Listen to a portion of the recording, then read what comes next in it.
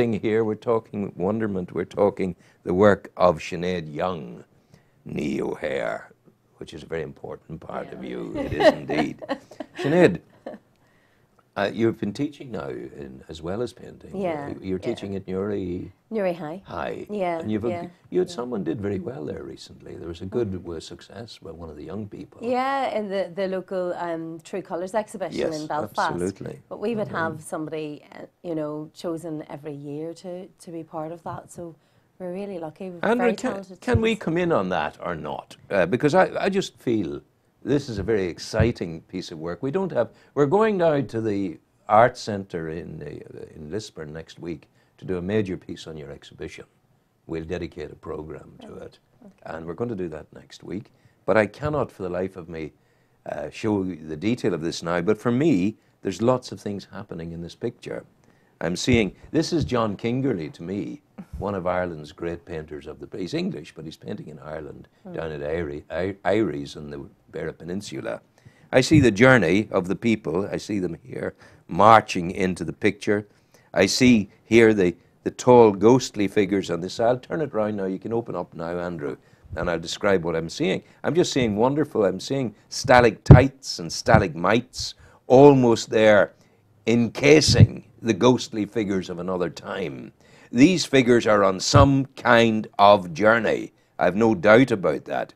And the crown of the king You'll probably think I'm mad. Oh, no. The crown of the king lies in the, at, the, at the top of the shore. In fact, the crown of the king is not on the shore, it's in the prow of the, of the longboat that's coming in. You can see, look at all these things mm-hmm, later. Mm-hmm, mm-hmm. And then over here, we look and we see further evidence. The boat is a, a twin, a twin sailed boat sailing boat coming into the picture, moving. It's all about moving in, moving in into on a journey across, and you've got the, the horizon line three quarters way up and all that lies beneath. Mm-hmm. And you're challenging us in a way to find that which lies beneath. Mm-hmm. You talk to me about this. Well, you're going to be very disappointed because this is this is actually a piece that isn't in the exhibition because I am challenging myself this time round and stepping out of my comfort zone because um, as a painter and being more comfortable painting. Um, the exhibition, the, the body of work that I have produced for the exhibition is all ceramic. It's all it's all clay.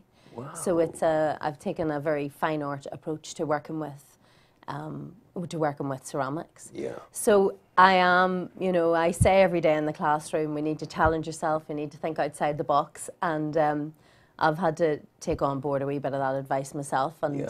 um, and embrace a material which I really enjoy using. I love using. Um, but I would suggest but to it's you, very different. I would I would suggest to you that Turner, and Van Gogh, mm. and Gauguin, they yeah. weren't ceramicists. No, they were no. painters. Yeah, yeah. Uh, uh, Kingerlee isn't Yeah. a ceramicist. Mm-hmm. He does. They do what they do magnificently, Yeah, yeah, and you do this magnificently. and dare I you. suggest to you that being a ceramicist Mm-hmm. is is fundamentally a distraction.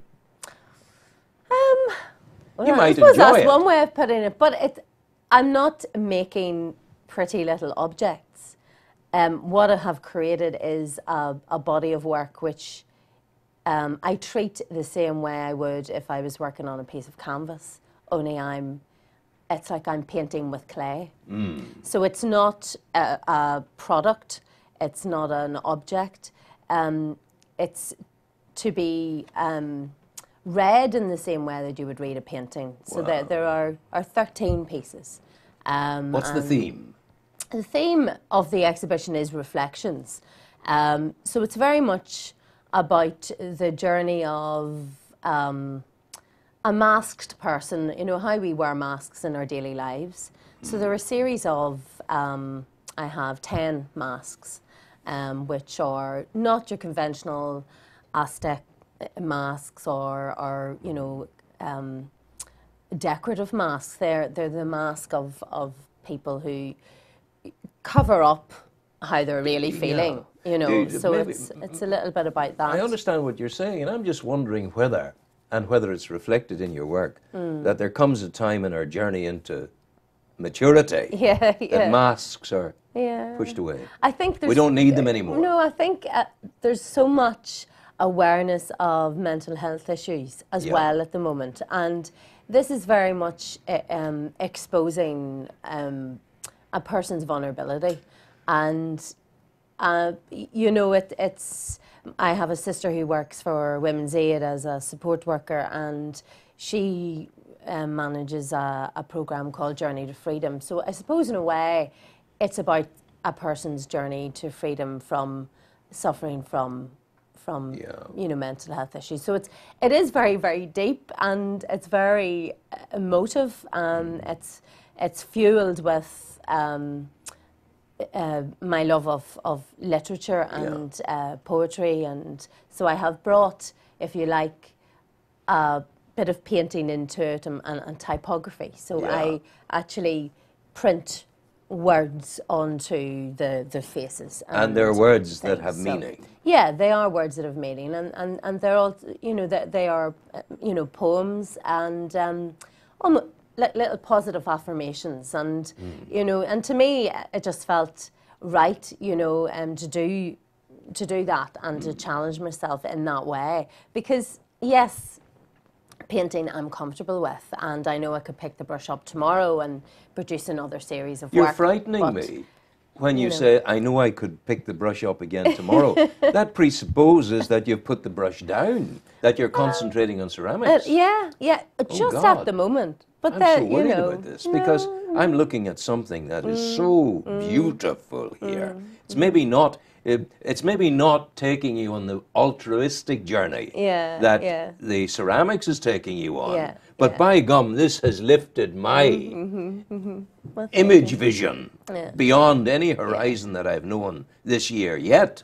This is lovely. Well, I think the whole idea behind the exhibition was uh, my my good friend Trevor Woods, who is a local ceramicist, and he's taught for 25 years, and he um, he retired last year. He has a, his own pottery and has has been very very successful in his own right as a ceramicist. And he's been a massive influence on me in, in teaching me the, the, the trade of using clay within a classroom scenario Yeah. initially. Now, I've met Trevor 10 years ago, and we, we worked together in the examination board. So um, I've known him for a long time, and he has, he's a very, very good friend. Um, and he has, has given me that um, confidence to Yeah. use it successfully within the classroom and, and you know because years ago y- you didn't use as many materials you know whereas now as teachers you have to teach textiles and ceramics and your drawing and painting. So he was he was instrumental in let's get a date for the calendar let's get an exhibition. Yeah. and that we have 10 people exhibiting in in um, in the Island Arts Centre And that begins next and Wednesday. that, that starts on Wednesday. And At they're all 7:30 people in the half- evening. at half seven is the Yeah. official opening, um, and we have ceramicists, painters, textile designers. Um, you know, we have a, a lovely range of work Mm. there, um, and they're all people that have touched our lives in some way. Mm-hmm. You know, um, past pupils, Mm. um, colleagues, friends, we our good friends that I was at university with. Yes. So there are people that we've met through our own journey Yeah. um, and through our own lives and careers. I mentioned uh, I mentioned John Kingerlee to you Yeah, down yeah. in uh, Aries in Cork. John paints with a beautiful light coming off the Atlantic Mm. down in the in the Skelligs, Skellig Michael, Mm. uh, down there in the Beara. He also takes himself off to Morocco, uh, and be he nice. paints in Morocco in, at another time of the year. Yeah. And uh, I, I had the great joy of doing a documentary with him, Le Mm. Voyage, and he, and he has a technique which kind of, it's not. Uh, it's almost as though he's applying the the the, the pigment yeah, uh, layer by layer by layer, Yeah. and then digging into it and revealing that which is coming. Yeah, And it's it's not ceramics. It's not ceramics, uh, but neither is it just the painting on of color and leaving it at that. Yeah, He's working the color as you would work the soil of the Mm-hmm. the, the kind of boglands of, of West Cork and Yeah. whatever. And Yeah. uh, I, I just can't get over the beauty of your painting. Well, thank you very There's no, much. no two ways about it. Thank it's, you. It's lovely. Yeah. So when did your painting start for you? By the way, I see great similarities in your, not your painting, but personally, in members of your family I knew. Mm-hmm. Oh, your you uncle go. Dan, I see him in you, and it's Mm-hmm, taken me back. It's quite a. Dan O'Hare was a very good friend of mine, and uh, we were in scouting together, and uh, we grew up together. Mm-hmm. And he died on his own in Africa, Mm. uh, where he was swimming. Perhaps went to help somebody, I mm-hmm, believe, and that, mm-hmm, that, mm-hmm. that was these things happen. So let, let's come back to this then, and and s- tell me when your talent as an artist began to peep its head above the the parapet. Gosh. It, there isn't a, a, a significant age or day or time when I, I remember a light bulb being switched on. Yeah. I, I do, my, my memories of primary school are, are very, I, I, I really don't have any memory beyond sort of first year in St Mary's, and I think whenever my it was uh, my teacher at that time, Mrs. Mackey, recognised that I had something, that I had some potential. Um, and, and really, that was probably the first time I thought, oh, I'm actually quite good at this. Aye. Um, and I enjoyed it. I loved art. I, I, you know, and, and really, so it's probably from, you know, as I say, secondary school. Whenever you get a chance to to start enjoying art, and you know, art wouldn't have been, we wouldn't have done a great deal of art in It's also very hard to make your living from art, you know, these days, unless you're a huge success. If well, it's becoming um, much more prolific now. Art, I'm thinking you recession know, and things but, like that. But the, but it was the, the out of all of the industries, the creative industries were the least affected by the recession, which Yeah, I people find have stopped quite- buying paintings. But to- but to the- art is not just about paintings anymore. I Well, take, take the know, Mm, wider thing. Take the wider thing. The, the per, if you go down to uh, if you go down to Dublin to uh, Adams, say, uh, Yeah. Mm, and go in and talk to them there, they will tell you that people aren't shelling out as much as they used to. uh-huh, yeah, that yeah. whether it be a, a sculpt a sculpture, whether it be a painting, Mm. Yeah. it's easily pushed on the back burner. Yeah, Not, not but they're not um, necessities, are they? I no, suppose this people is- think. is- But I think Having said that, You know. maybe th- they are necessities. If Yeah, you can, well- if you can bring people's vision into something that they haven't seen, Yeah, yeah. that's important. But uh, you know, as as we were saying, I just you know now artists are very good at diversifying and Yeah. um, you know into other areas. And if you're a creative thinker, you you know you, you don't just pigeonhole yourself and think of yourself as well. I'm an artist and I, I can you know can I make a living out of just producing paintings? Yes. Artists are, are unique in that they reinvent themselves all the time, and I suppose that's a wee bit like what I'm. I'm not reinventing myself, but I'm diversifying off into another area, uh, But isn't another discipline. Yeah, isn't it interesting? You can be a ceramicist and uh, a painter at the same time because they're. Yeah. they're so totally different in ways.